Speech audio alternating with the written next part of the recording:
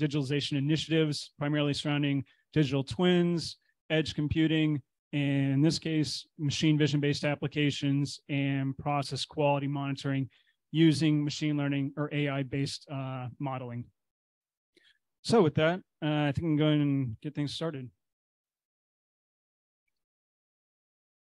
Okay, so the majority of my presentation, I'll be going over essentially our machine vision applications that we developed specifically for the machine tool industry.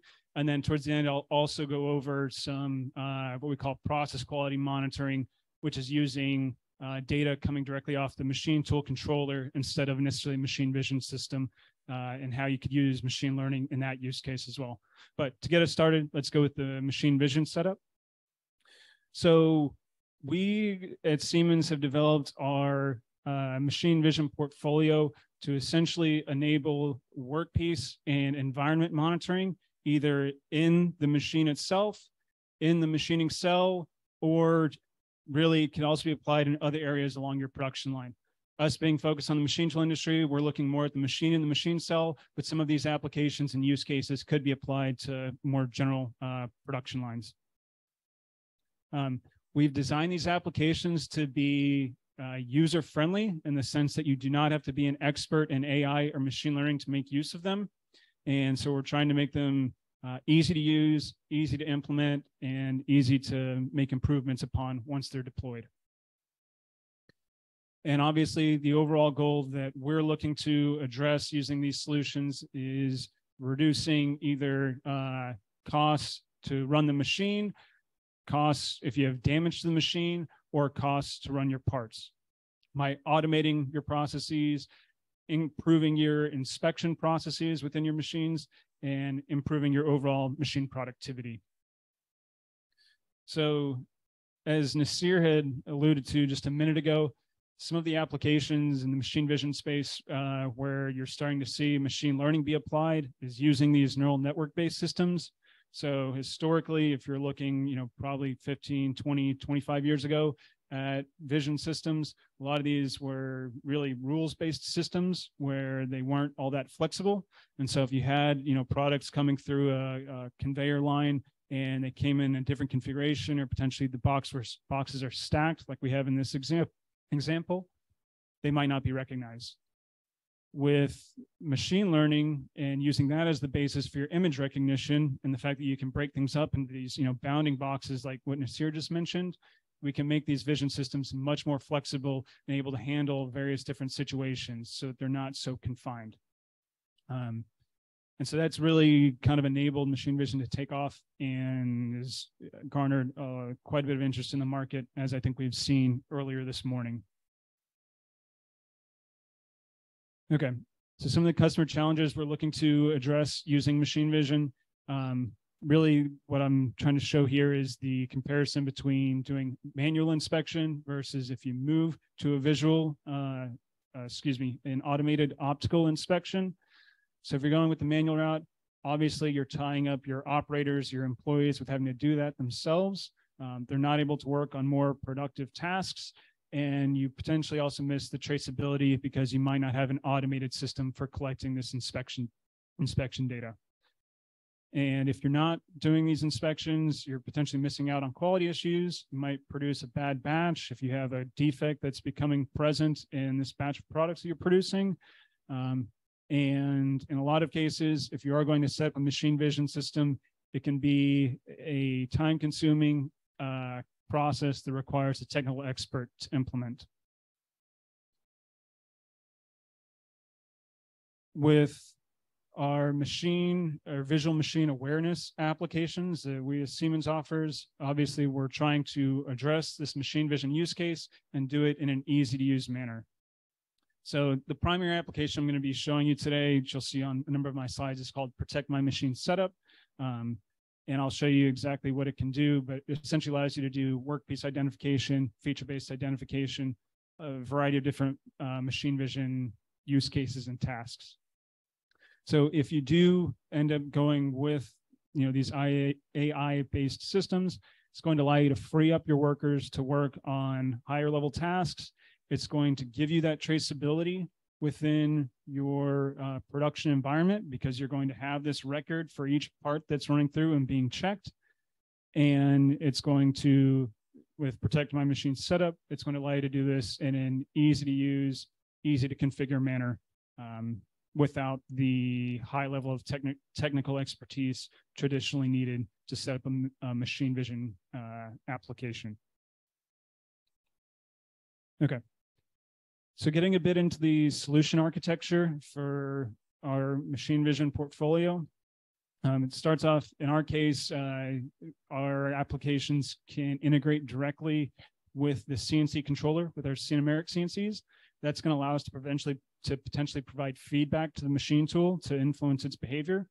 But so in, in most of our use cases, you have the machine tool, and then we'll have uh, an edge device, which is essentially an industrial PC that's going to be running the actual model and processing the data coming in from the camera. Um, so we have the camera connected to the edge device. It's obviously going to be taking the images and then processing them on the edge device. Whenever you first set up the system and you need to collect your training data, uh, you're going to collect it using this edge device. That data is then pushed to the cloud, to our cloud platform which is where the training actually takes place for these machine vision models. So once you collect essentially a series of images for or features for what you're trying to uh, monitor or view, it'll be pushed to the cloud. You'll essentially configure, for instance, those bounding boxes like what Nasir had mentioned, and then train essentially with a few clicks, train the model and then once you have the model trained, that model is then deployed to the edge device, which is running next to the machine. That model can then run continuously. And whenever essentially uh, image capture is triggered by the machine, let's say the workpiece is in a state that it can be scanned or checked, that image is sent to the edge device, compared to the model that was generated, and then a one a report is generated for that monitoring case and in the case of our Sinumerik controls, we can provide feedback directly from the edge device back to the machine tool to tell the machine tool potentially, yes, this was a good part, continue machining or unload the part from the work cell. Or it could give essentially, you know, a, a, an anomaly detection telling the machine, hey, we potentially have a defect with this part we need further inspection or do not continue machining, send an operator uh, over to take a look at the part and inspect it before you continue. All right, just a little bit deeper onto kind of some of the technical hardware aspects. Um, in terms of the camera component, this isn't something that we as Siemens uh, ourselves sell directly, um, but in terms of our requirements, it's pretty flexible really the two big requirements are uh, the camera needs to support the RTSP protocol for data transmission, and it's going to be using an uh, uh, Ethernet LAN-based uh, uh, connection to the edge device. Um, besides that, it's really up to you what camera you want to select and integrate with the device. For us, it's really just an input interface.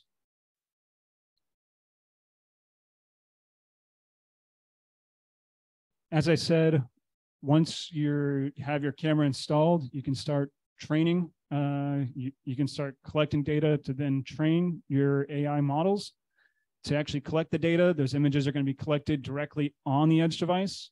Once you have your training data set, those can either be pushed directly from the device to the cloud, or we do also have uh, an offline transfer tool if you don't have direct cloud connectivity from the shop floor, which obviously for a lot of uh, the users we deal with, that's usually not possible. So we do have an ability to essentially download the images offline, and then you can push them to the cloud manually. Um, in addition to the images collected directly using the camera with our edge device, we do also support the ability to import data from essentially uh, 3D renderings of your object.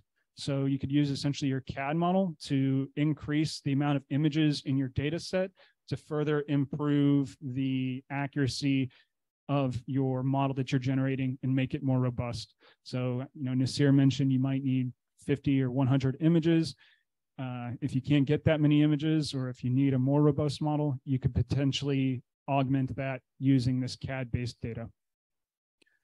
Once you have the data up in the cloud, uh, it's a few clicks to actually start the model generation process. That process is done using cloud computing resources. And then once the model is generated, that uh, model can then be deployed back down to the edge device as essentially a ready to use solution. At that stage, the model is running on the edge device. Um, sorry. At that stage, the model is actually running directly on the edge device. So you don't have latency issues if you're you know, pushing out to a server cloud-based system. It's essentially right next to the machine tool. It's checking those images then that are coming in and comparing it to the training data set depending on how you've configured it. And then based on those results, it's going to generate a report within our applications that can then be uh, accessed and downloaded. And then in the case of our Sinumerik controls, we can also provide feedback from that monitoring job directly to the machine tool to influence the machine behavior or you know potentially stop the machine.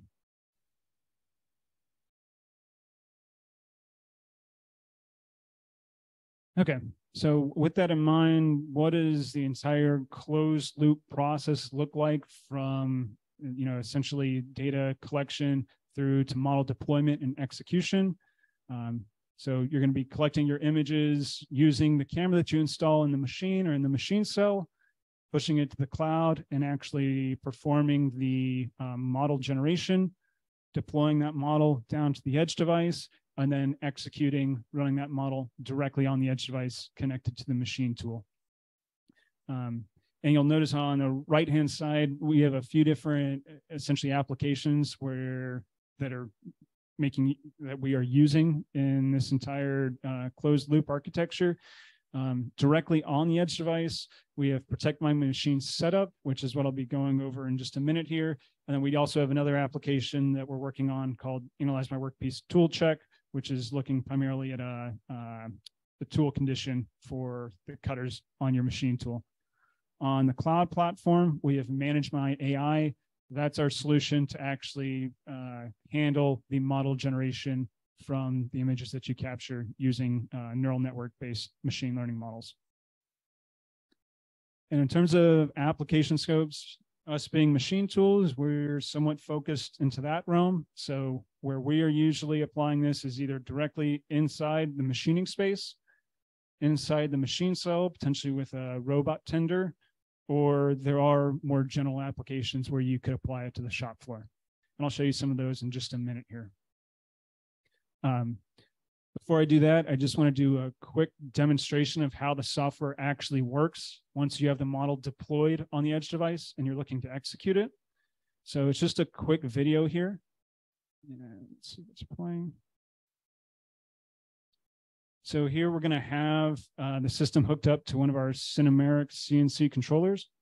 So you can see the CNC on the left-hand side, camera looking at the workpiece in the middle, and then our edge device on the right. So on the right here, she is placed essentially an anomaly or an unknown object in the workspace. And then she tried to start the part program on the machine to essentially start the machining process. During that, uh, we essentially ran the check, detected there was an anomaly, and basically sent out a flag to stop the machine. She now removed the part, started the part program. It ran another check and detected there's no anomaly, nothing unknown present in the machine space and it proceeds with the part program. So from a high level perspective, that's how the software is working in terms of its integration with our Sinumerik controls um, using these machine vision applications. All right, with that in mind, now I'd like to go over some of the use cases that we are primarily targeting with this software. Um, as I mentioned, we're primarily focused on the machine in the machine cell, although there are uh, applications where it could be applied at the shop floor. Most of the use cases that we're looking at are things like workpiece identification, essentially before you load the part into the machine, um, workpiece verification to make sure that you're going to run the right pro program based on the part that was loaded by an operator. Um, workpiece rotation verification. So if the workpiece comes in and could be in a number of different orientations, you could essentially use that to uh, command, for instance, in the use case I'll show you in a minute, um, a robot arm to orient the part properly once they put it into the fixture in the machine. Um, and then moving outside of the machine to the shop floor, um, we do offer just general workspace monitoring. And then we also support feature-based identification, which you could use to potentially check that all of the components have been installed in a certain uh, uh, in a certain item that you're producing. For instance, making sure you have all the screws and all your plates installed um, on a motor housing. So the first use case, I first use case example I want to go over is actually one that we've deployed at our Bad Neustadt facility in Germany.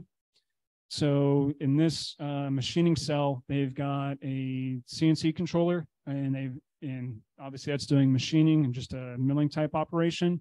Then they also have a, a robot tending machine that's loading the machine with parts. Historically, whenever they have a blister tray come in with a new set of parts, They've had the operator go and have to identify what work pieces are loaded. And they also have to go and identify the orientation of these work pieces. So you'll notice this essentially in the lower quadrant and the far left-hand side quadrant. And these were done obviously manually by an operator, takes significant amount of time, can potentially be error prone, which could potentially result in a bad batch of parts or potentially even machine damage using our Protect My Machine setup application, they did two primary things with uh, with this machine. The first one they did is workpiece identification in the blister tray. So instead of the operator having to go and specify what part they're running manually in the machine HMI, the uh, machine essentially the arm has a camera and identifies what workpiece is loaded, and based on that, they're able to select the right program on the machine tool. The second thing they're doing, which is on the left-hand quadrant, is they're making use of an alignment station. So once they've identified the workpiece, the arm is picking it up, placing it in this alignment station, and then they are taking an image of it. And based on that uh, alignment, excuse me, based on the orientation of the uh, workpiece, they're going to make a modification to this, the robot program to adjust how it loads it into the machine so that it's loaded properly in the fixture in terms of what that actually looks like uh, from an entire, um, excuse me, an entire workflow perspective. Uh, here we're showcasing how this was done for the um, workpiece orientation detection. So on the left with the model training, uh, at the top, that's a, an image of the actual camera that they have mounted in the cell. And then the two images with the green and red boxes on the left are training images. So they took this workpiece and they would load it in the four different orientations available. And they would label those orientations once the data was in the cloud um, using bounding boxes. Once you do that, and they train the model. They can then deploy that model to the edge device, which is what you can see in the middle. And in the middle, you can essentially activate, you know, monitoring or using that model. And at that stage, it's ready to run and uh, on the right hand side with the deployment. Then when the robot uh, essentially loads a component into that orientation station, the camera takes an image of it. They compare it to you know the model that was generated, and it identifies which orientation that workpiece is in. Once it's been identified, uh, what orientation it is, the arm picks it up, rotates it the proper amounts that can be loaded properly and places it into the fixture in the work cell so they can st then start machining. Um, so that's one of the applications where we've applied our machine vision applications ourselves. Okay. Um, so I'm not, it's, this is essentially what I was showing you before in terms of uh, the other use case, which was workpiece identification. So in this case, with that blister tray with these different motor housings that are loaded, uh, they are essentially taking an image of it once that blister tray shows up to identify what workpiece this is so that it can run the right program on the machine tool. Um, and with this, they were able to you know, reduce the amount of manual labor required and see a total of 16% uh, overall cycle time savings within this uh, machine cell. Um, one of the other use cases that we can address, and this is one that might not be necessarily specific to machine tools, is we can do feature-based identification. And based on that, uh, uh, produce output in terms of identifying, you know, what part this is that you're producing. So if you look on the right-hand side of this screen, we've got this electric motor housing with a number of different features that we've identified. And based on these different features, it will produce output telling you if, if, this is motor X, Y, or Z that is currently loaded or you're currently dealing with. Um, so we can use essentially that feature-based uh, uh, identification um, to check your parts.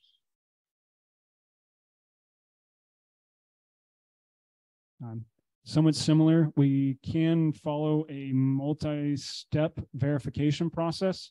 So if you've got multiple assembly steps to put together a component, for instance, we've got this motor housing with the stator and the rotor, um, as well as the actual axis itself.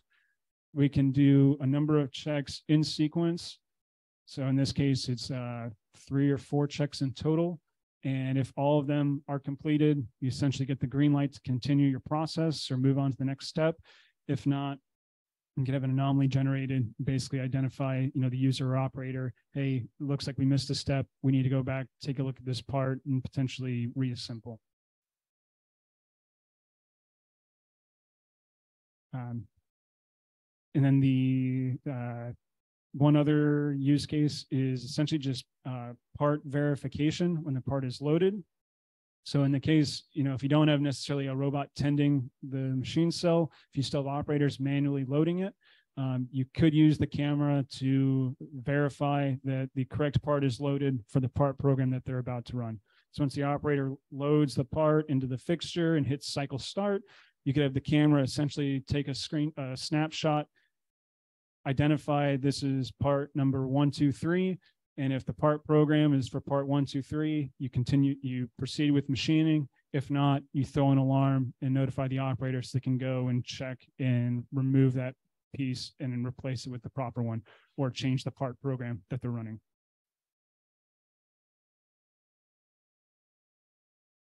And then the last one, which I had kind of gone over in more detail earlier, this is the workpiece uh, rotation uh, verification.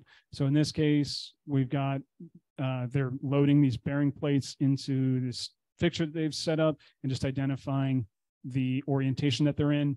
And based on that, the robot arm is adjusting the orientation of those bearing plates whenever they're loaded into the machine cell. So instead of the operator potentially having to do that manually or having to adjust the robot programming, we're able to do this on the fly using the live data on your shop floor. So with that in mind, some of the primary customer benefits, uh, specifically with our Siemens solutions to machine vision, are going to be one, in the case of our Sinumerik CNCs, uh, built-in monitoring and integration with our controls. So we can essentially send feedback directly to the CNC without extensive integration work. Um, we have a closed loop workflow from you know image capture to data augmentation with 3D CAD models uh, to the training pipeline to deployment, all built into one ecosystem to allow you to easily generate these models and address a number of different use cases depending on what you're doing. And then, like I said, we're trying to make the software in you know in machine vision available to the everyday user. So they don't have to be a machine learning expert um, and they don't have to uh, spend you know a significant amount of time to get a model up and running. So you're able to use these kind of out of the box uh, this out of the box solution able to use synthetic data to augment the training data that they're using and make use of our built-in workflows to hopefully make it easy to deploy and easy to use and easy to update. So that's all I had on the machine vision side of the fence. Um, before I close things out, I did want to touch just briefly on another area where we operate where there could be machine learning or AI based applications. This is in the realm of process quality monitoring.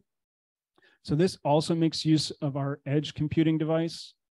But in this case, instead of a camera being connected to it necessarily, we're just getting process data directly off the control.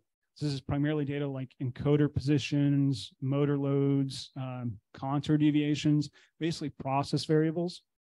And with some of our applications, uh, by default, how they work is you collect your training data set and it generates essentially a Six Sigma based uh, statistical model, which if you look in the middle here under item number two, it essentially ends up looking like a tolerance band for your process signal. So this could be the load on your spindle that you're monitoring. And, and so if you then stay inside that process band when you're running that part in the future, you get a thumbs up, good report. If you run outside of that band, you essentially get an anomaly generated, thumbs down, report generated for that and that feedback can be sent to the machine tool to trigger, you know, a machine stoppage or an alarm for the operator. Um, by default, we do this with that Six Sigma based, just a statistical model. However, we've recently come out with this custom algorithm executor, which allows you to uh, deploy your own essentially models or algorithms to the data that's coming in. So you're still getting this high quality, high speed data telling you how your processes are operating.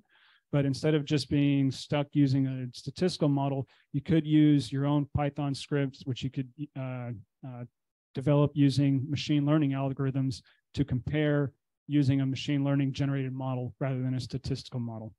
Um, and so it's going to allow you to, you know, develop your own use cases. And if you are, you know, very much going down the road of machine learning, it can give you a potentially more robust monitoring solution than something that might just be based on statistical analyses. And with with this process quality monitoring software, really the benefits that you're going to see is one, uh, we're using this software essentially with every single part you produce. So instead of intermittent checks where you're maybe you know running CMM on one out of every 50 parts, we're running these uh, monitoring processes on every single part running through the machine. Uh, with that in mind, if you do detect a quality anomaly, we're going to detect it quickly so you potentially don't produce a whole bad batch of parts. And then last but not least, uh, with the application, it includes report generation and storage. So you're going to have full traceability uh, for your machining processes. So you could go back and interrogate the data at a future time if you want or need. And with that, I think I'll uh, close things out. Any questions?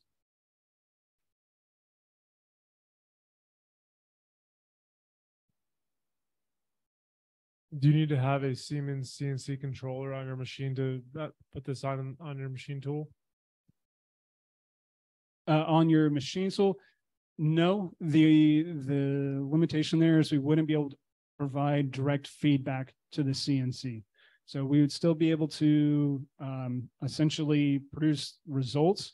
We would then need to send those results to, I would imagine, a, basically a, a third PC to basically send that signal back to some other CNC controller. You know, you can still run all of these.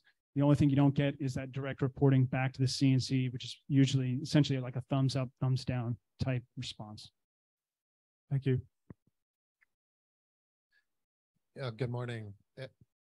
As a um, solutions consultant, I would imagine the interface with the the, the customer's existing equipment uh, or IT um, system would be a big challenge or one of the major challenges that that you're facing. So two two phase question for like milling machines, is there a protocol that um, plug and play for your piece of equipment? And so, yeah, I would assume maybe that that's the case. But for older equipment, do you offer a, uh, some type of retrofit interface for that? So that's on the milling machine side. Uh, for, you know, less sophisticated systems, like something, uh, an older milling machine that might have compressed air that's blowing the, the chips off of the, um, off of the part and maybe sensing that and only allowing the, the compressed air to, um, exist when the chips are needed to be blown off. Um, do you offer some kind of solution for that less sophisticated approach? So really two, two questions there. Plug and play retrofit for the more sophisticated machines and any solution for the, the less sophisticated type applications. Yeah, so I, I think uh, I definitely understand your first question, and I believe I understand the second one. In the case of you know more advanced or newer milling machines, uh, in the case of our Sinumerik controls, like I said, it's it's plug and play. Um, because we're at Siemens and we have access to those interfaces, we can essentially just plug directly in. Um, so yes, it's plug and play. If you're looking back at machine tools typically manufactured from like 2014 to newer from Siemens, it's uh, plug and play. Um, in the case of other controls, kind of to the first question that came up, um, as an example, one way that you could accomplish this is on that edge device, we can run an OPCUA server. So what we could do is tie the output of the vision application, you know, telling you if it's a good or bad report to a tag on that OPCUA server. And then you could have an OPCUA client either running on another machine tool or another PC to monitor that tag, check the state, and then you know interface with your other machine tools on the shop floor to tell them you know continue machining or stop which i believe would also potentially address the use case of triggering blowing uh, out the chips if you detect that